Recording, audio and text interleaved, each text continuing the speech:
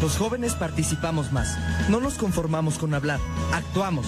Por eso, los que terminamos la secundaria cumpliremos con el Servicio Militar Nacional, ayudando a los adultos a leer y escribir para que continúen sus estudios. Así se crean las oportunidades.